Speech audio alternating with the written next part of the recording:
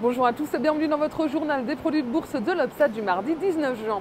La victoire de la droite conservatrice pro-euro aux élections législatives grecques a tiré les marchés vers le haut en début de séance. Les risques de faillite et d'une sortie de la Grèce de la zone euro sont apaisés, mais l'Europe se retrouve confrontée à des défis de taille. Le soulagement après les élections grecques aura été de courte durée. L'indice parisien rattrapé par les craintes sur la zone euro fait volte-face en milieu de matinée et clôture dans le rouge en baisse de 0,69% à 3066 points.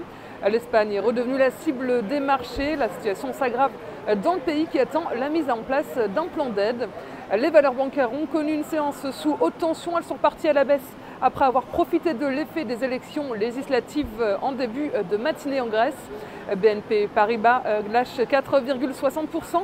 Société Générale perd 4,05% et Crédit Agricole 3,44%. Parmi les rares valeurs en hausse hier à Paris, EADS, la maison mère d'Airbus octroie 2,88% et l'équipementier aéronautique Safran se gagne 2,19%. Les valeurs technologiques et les spécialistes du luxe profitent également de ce mouvement haussier. Wall Street reste sur la défensive en dépit de nouvelles rassurantes en Grèce. Le Dow Jones lâche 0,20%, le Nasdaq termine en légère hausse de 0,78%. Les regards étaient rivés hier sur le G20 qui s'ouvrait au Mexique. On n'en attend euh, pas de mesures spectaculaires, mais il y a l'espoir de ramener un peu plus de confiance dans l'économie mondiale.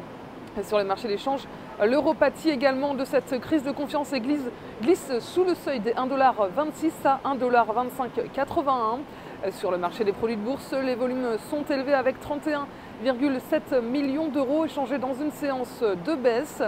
Concernant la répartition par type de produit, les certificats se replient à 77% des échanges, les varants montent à 23%. Du côté des transactions, les certificats représentent 70% et les varants 30%.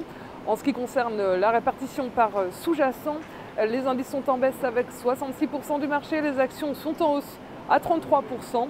La répartition des transactions sur les varons nous dit que les indices représentent 66%, les actions sont à 33% et les matières premières sont à 1%. La valeur du jour, c'est aujourd'hui l'assureur AXA. D'un point de vue graphique, les courses sont affranchies d'une oblique baissière tant que le support est à 8,90 euros.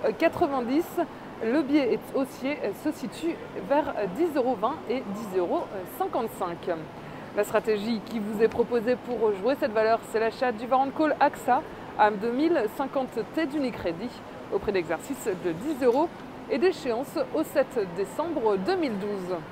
Voilà, c'est tout pour aujourd'hui. Bonne journée et à demain.